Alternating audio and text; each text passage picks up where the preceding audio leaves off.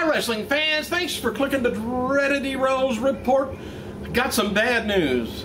Good news for you ladies, but bad news for a lady. John Cena has filed for divorce from his sweetheart from school. Wife of three years. Uh, so says the Miami Herald and TMZ.com, which is always right. WWE superstar claims their marriage is irretrievable broken. Anyway, the couple uh, uh, signed a prenup, I guess, agreement allowing uh, Cena, who uh, possesses assets worth as much as 18 million. Hello.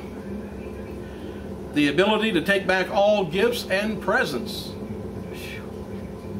Anyway, they also said that uh, already hired a powerful Miami attorney, uh, Raymond Woelfel is his name, who has uh, been known uh, for facing Hulk Hogan in uh, ugly divorce cases against his wife Linda. Uh, Woelfel has uh, allegedly took 70% of the legendary grappler's assets and um, reportedly wants a similar take. The sources close to the situation told the Miami Herald that the divorce would dwarf the Hogan divorce in nastiness. How much you want to bet Cena's been, I haven't read this yet, but uh, Cena's been horsing around with a diva. Let's see.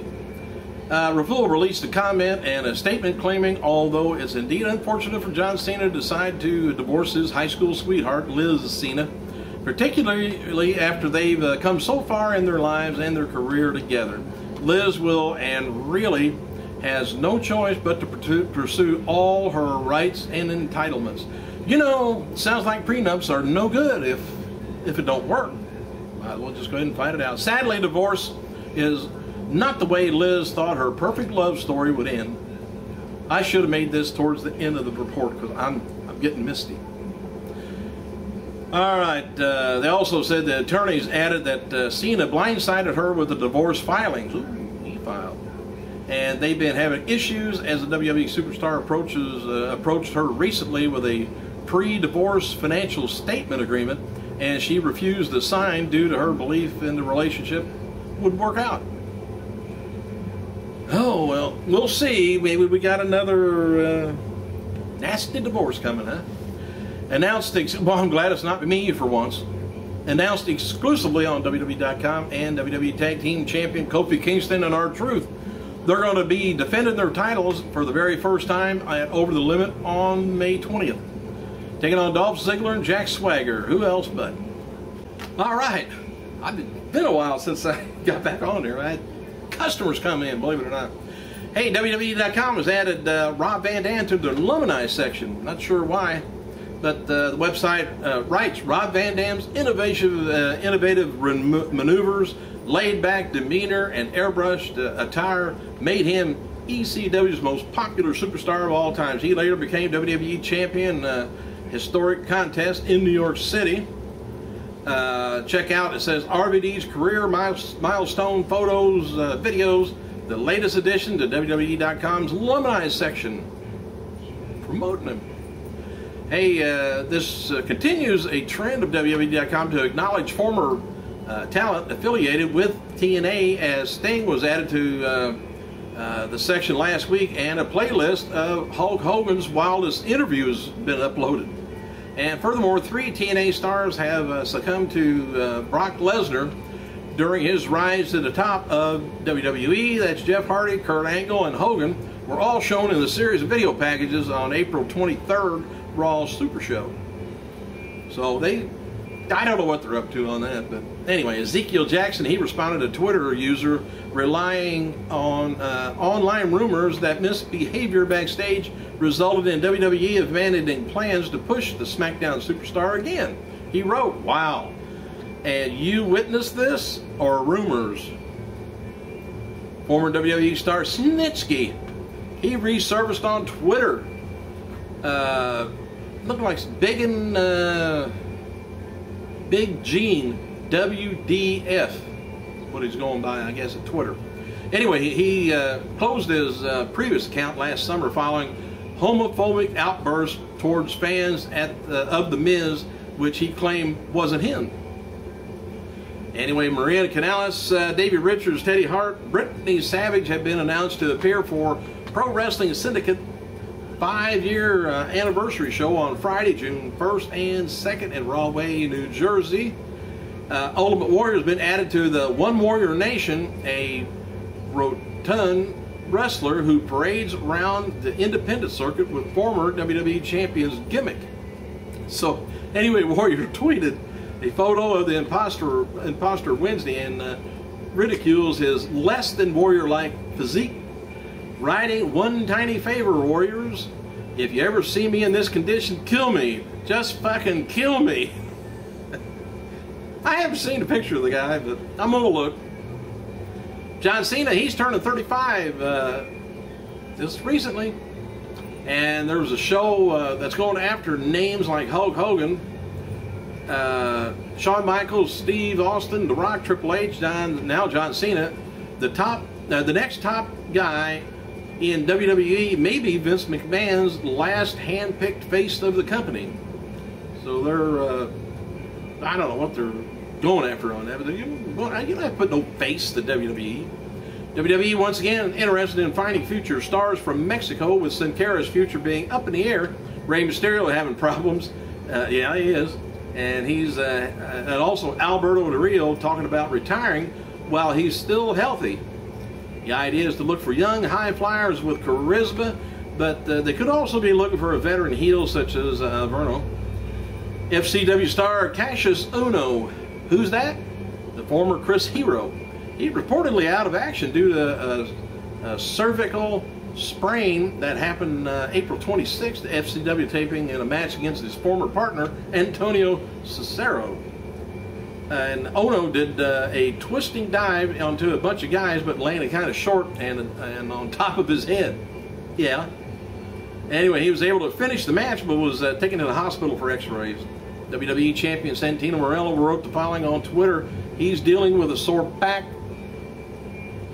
Uh, WWE's added uh, Antonio uh, Cesaro to the SmackDown roster. And uh, here's a few of the fan attendants uh, at TNA in California on May 5th, or May 4th, 5th, and 6th. They had a thousand fans, 500 fans, 500 fans, says the Wrestling Observer. That was at Ontario, uh, Bakersfield, and Visalia. And also at house shows in Huntsville, Alabama, on the same, pretty much the same days, uh, the fifth, the fourth, fifth, sixth. Huntsville, Alabama we did about 4,000 with 150,000 uh, gate. Knoxville, 6,000 with 200,000 gate. Uh, SmackDown at, at, Asheville, North Carolina, did about 2,000 fans, about 6,500 gate, or $65,000 gate.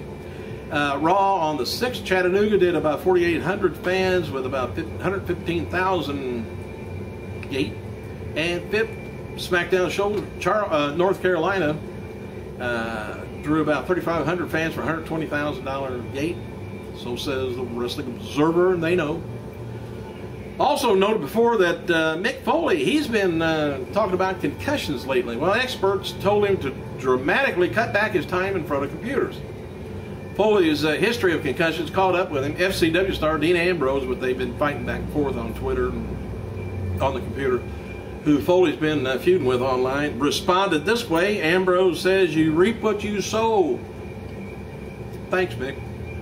Anyway, new uh, details on the availability of the WWE Top 50 Greatest Finishing Moves DVD and Blu-ray set, thanks to DVD, WWEDVDnews.com. Uh, the info is uh, two Blu-ray, three DVD disc set. Going to be out. Save your money up for it. August 21st in North America. Uh, anyway, got a little bit of synopsis there. I don't go through too much. Be uh, take too long. 50 of the greatest finishing moves in WWE history. Most amazing, devastating, bone-crushing signature moves in the countdown style. Production guaranteed to stir up controversy and banner among uh, WWE universe. They're talking about from sweet chin music, rock bottom attitude adjustment, and everything in between. These moves are guaranteed to bring the masses to their feet for, uh, and so on. Uh, matches for today's superstars on website. McIntyre takes on Jackson. Natalya takes on Fox. Kid takes on Hunico, and uh, Santino Marella's Ryder takes on Hawkins and Reks. Speaking of awesome, awesome, awesome, Reks and Hawkins, they uh, returned to NXT, by the way, with the storyline that the as the official NXT security, and they're appointed to that by John Laurinaitis. JTG he debuted a new look on last night's uh, NXT thanks to Alicia Fox, who accompanied him to the ring on his win over Yoshi Tatsu. Uh, matches for tonight's Impact. Velvet Sky taking on Brooke Tessmacher, Morgan taking on Crimson Ion, taking on Aries, Robbie E taking on Devon. Four-way match with uh, Rob Van Dam taking on Jeff Hardy, taking on Mr. Anderson, Bobby Roode also in that for the main event. And Hogan recently told New York Post that his former WWE stars Chris, uh, Chris Masters and John Morrison has been trying to get work with TNA. So am I. And TNA, live event in, uh, uh, I already told you about that. As of now, TNA's June Slammiversary pay-per-view from Arlington, Texas, is the last TNA pay-per-view or TV show that's going to be outside the Orlando area uh, until 2013 because TNA can't make money on live gates, and this is a year-round, uh, this is a year's Bound for Glory pay-per-view, and it's going to be held at the Impact Zone. So I don't blame them. Got to cut costs wherever you can. And uh, let me see. I think uh, Verne Gagne turns uh, 86 years old, while Tito Santana turns 59, and William Regal turns 44 years old. Thanks for clicking, you guys. I gotta go.